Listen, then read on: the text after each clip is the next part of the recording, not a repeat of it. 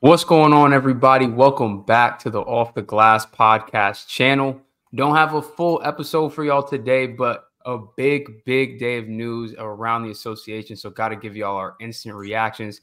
As you can see by the title and the thumbnail, the Milwaukee Bucks fired their head coach, Adrian Griffin, after 41 games. That's nuts. 40. Oh, I capped 43. I need to change the, the slides. 43 games. My bad. 43 games into the season, and he was 30 and 13. I know it says 30 and 11, but he was 30 and 13 on the season and got fired. That's that's kind of crazy when you think about it, like having that good of a record and getting fired.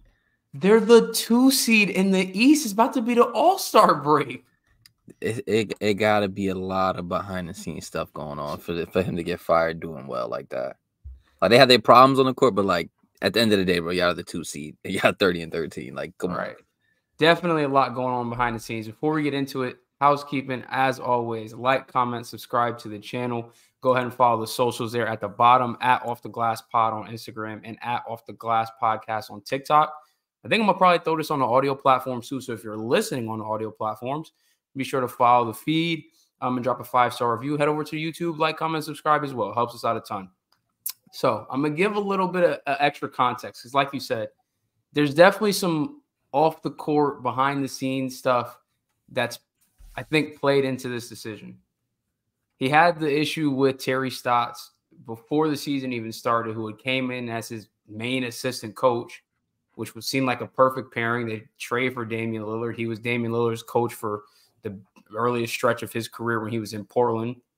Um, they got into some argument. Griffin yelled at him. It just there was some rift that went on. He ended up leaving. So that was like strike one. Apparently, during the in-season tournament, him and Bobby Portis got into it, and Bobby Portis challenged him. That seems like it might have been strike two. He tried to do stuff on the defensive side of the ball that the players weren't feeling. They ended up trying to go against it. There was a lot a lot off the court behind the scenes. And again, this is just what's been reported so far. Now that he's out the door, I'm sure more is going to come out over the next couple of days. Um, it's tough. It's tough inheriting a situation like that, especially as a first time head coach, like not being a guy with any established reputation as a head coach, where they were the one seed last year. Like there is, it cannot be a more pressure filled situation for him. Um, but if you're going strictly off results, like we said, he's got 30 wins. He's the two seed in the East. After a slow start, too. Right. Like, I don't know. What do you think? What do you think about the Bucks decision here? I mean, honestly, like you said, I tr- I truly feels like it comes down to all the stuff that happened off the court. Because on the court, at the end of the day, I, bro, like you said, they're the two seed. They have a great record. Like you can't. If, if it was nothing off the court, there's no reason you can you can fire this coach strictly off of what like uh, obviously you know the defense have been pretty piss poor, but mm-hmm. even then like you still have I believe like the second best offense in the league right now. So it's like even with your struggles with the first year coach, you don't fire him unless there's like a lot of stuff going on off the court. So honestly, like I said, I agree with you. I think more stuff eventually will come out, and then it'll start to make a little bit more sense. Because even the stuff that like you mentioned just now, yeah, there's problems would I have fired him off, off of just all that alone? I don't think so. So it's like absolutely it, not. It, it, has to be more off the court stuff. Yeah. So I'm I'm glad you brought up their defensive deficiencies. I have the stats pulled up here. So as of last night's win over Detroit, their 43rd game of the year, they were second in the league in offensive rating, only 0.3 behind the Pacers, who again we talked about is on a historic pace this season. They're second in the league in points per game, also to the Pacers. On the defensive side of the ball, they're 22nd in defensive rating. If you just look at their last 10 games, they're actually 27th in the league and they're 29th in giving up the most points per game. The only team that gives up more points is also the Pacers. Mm-hmm. So this is a team that is putting up, I mean, their offense is clicking on all cylinders, as was expected when you add – Damian Lillard to a team that already has Giannis and Khris Middleton and Brook Lopez. The issue that I think all of us saw, but I don't think anybody recognized going into the season was yeah, you lose Jrue Holiday. Who's going to be that point of attack guy to step up? I think, at least I assume, you got Giannis, you got Brook. Right. They can cover it up on the back end. No, no, right. they cannot. Swiss cheat. Every guard they play is free. It's free food, bro. You you, bro. If you go on Prize Picks, whatever their over is, hit it. Bet it. Thanks. Bet the over. Every guard is scoring on this Bucks team, and I I do really believe part of what played into it is they just played two games. I think within three or four days against the Pistons, um, and they were tight games. And the Pistons are missing Cade Cunningham. And this is a Pistons team that, with Cade Cunningham, just tied the record for the longest losing streak in a single season in NBA history. That can't, that's got to be unacceptable. Like, I get it. I really do. But even then, they won. And even right. it's like, all of that being said, it's still not enough to fire a coach unless it's some crazy off the course. Like, regardless, I understand the defense is terrible. It's like, bro, I, honestly, I truly feel like it has to be something along the lines of like he lost the players and like completely lost the locker room. Because the what other reason is there besides like people you just don't have the voice in there no more. Like even though you know you guys are in the, the two seed and have really good record, like moving forward, you can just they the front office probably seeing later down the line, like eventually this is not going to work out because this guy has no trust of any of the players. But this offseason, when they hired him, didn't they involve Giannis and Khris Middleton in the process? That was the whole that was the big thing. Like Giannis like gave him his like stamp of approval, which is which is crazy. The switch up is nah, bro. The switch up is that's not okay. You cannot go from forget how many games you played. This happened in the off season. We're talking about last summer it's been eight months. You went from this is our guy to we cannot can't even finish the season with him. I'm about to say we can't finish the season at the, with the two seed. It, would be different if they kept like you know that slump they had in the beginning of the season. If that just kept going like all throughout the year and they're like middle of the pack, right. I'd be like, okay, I, I get it. But it's like they were winning games. You know, the defense still sucks, but they turned it around as far as in the win column. So I, I, honestly, at this point, I'm waiting to see what comes out like later on down the line. Well, about more off the court stuff. So, if, what's been reported so far too is that the the top guy to in line to replace him oh, is God. Doc Rivers.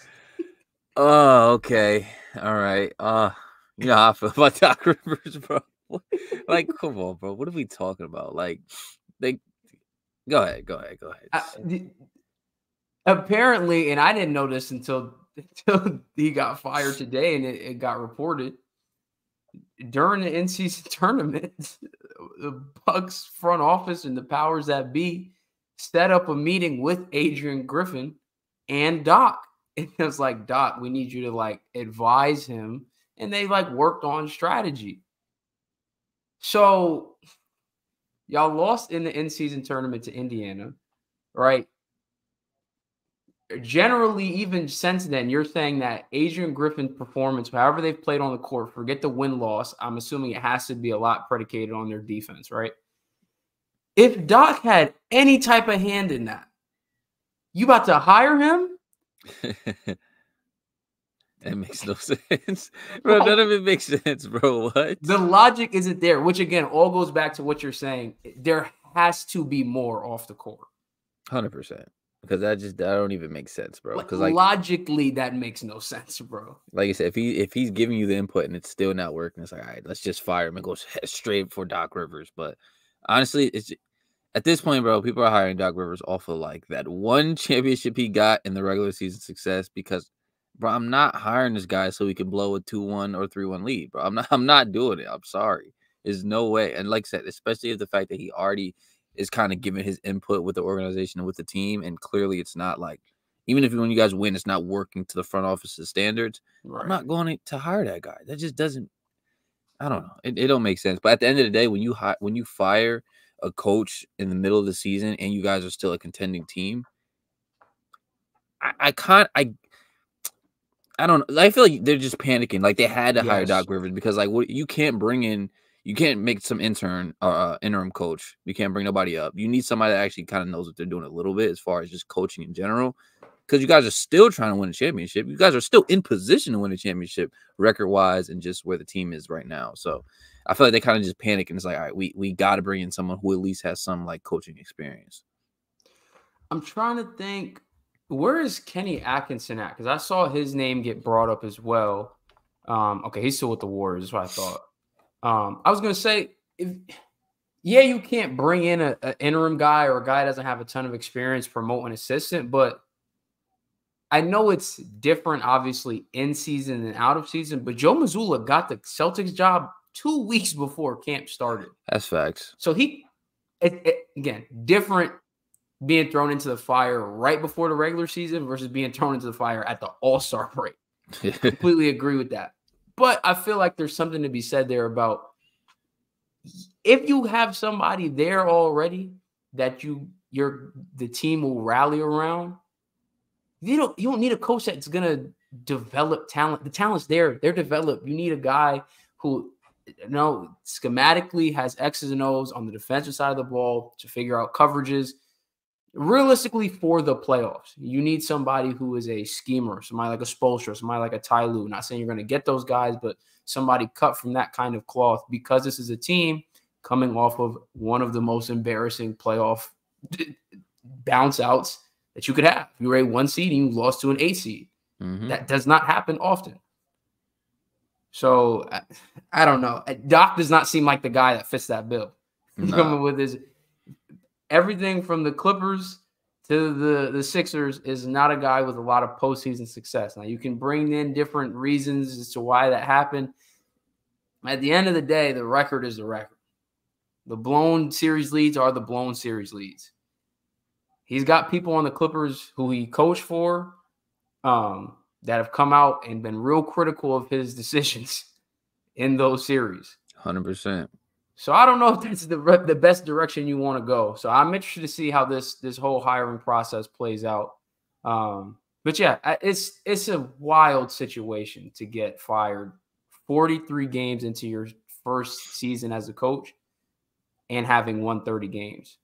That's so it was and it was so unexpected. Like I got the notification on my phone. I was like, I read it like twice, and then I checked if that was the real account. Like, I like, Yo, facts. I'm like, what? Huh? Like, That's, I'm like, this job's not as fake. Yeah, right. Yeah, jobs, bro. yeah, you know, Twitter be bugging with the blue checks now. You you'll right. never know. But you know, it was just it's so unexpected. But like I said, yeah, it and, and, like you said, also me too. As far as like a lot of this stuff, as far as behind the scenes stuff, I'm figuring out like right now, especially mm-hmm. with the Doc Rivers, like you know, having a voice with the organization. So I can't wait to hear what comes out because I'm telling you, it has to be something crazy, bro. It has, it has to be. I mean, or it could be something as simple as like, yo, like said they were saying on Twitter, look, they was trying to cut the Nasses, and Giannis was like, yo, that's my man, that's my guy. We can't do that, bro. You gotta go. that's crazy. Um, and for context, like right now, this is the tied for the third shortest NBA head coaching stint in history. Like not counting interim coaches, guys that were hired to be the permanent coach. The only one shorter, uh, Jerry Tarkanian played or coached 20 games for the Spurs in the 90s before he got fired. Bob Weiss coached 30 games for the Sonics before he got fired. And then Rudy T was coaching the Lakers for 43 games. He didn't get fired. He had some health issues, so he stepped down from the position. So Adrian Griffin's 43 games would slot right in there as the third fastest coach to ever get fired in NBA history. One, I would love to know their records in comparison because they both of them were both of them were sub 500 by a lot. I was about to say like it's because to get fired after 20 games is nuts. Right. First of all, that's crazy. Yeah. But it's gonna look so weird looking at that list. It's like sub 500, sub 500, 30 and 13. 30 and 13, the second seed. seed. right. Like people out the context gonna look like, huh? Like it, some scandal, something had to come out or something. Right. I know for the well, I said the Spurs guy who coached 20 games, Jerry yeah. um, Tarkanian. Um, I think this was pre Tim Duncan, is when David Robinson was there. He couldn't get a hold of the locker room. Like they were like speaking out to the media about him. They weren't winning games. He was like dealing with the stress really bad. So it just was it's not a good situation. Mm-hmm. Um, and saying like I said, with the Sonics, again, the guy was sub 500. So it's like to be in the position that Adrian Griffin was and get fired is insane, insane. So the news is gonna come out. Is there's gonna be stories that come out. I'm interested to hear his side. I want to yeah, know what he thinks.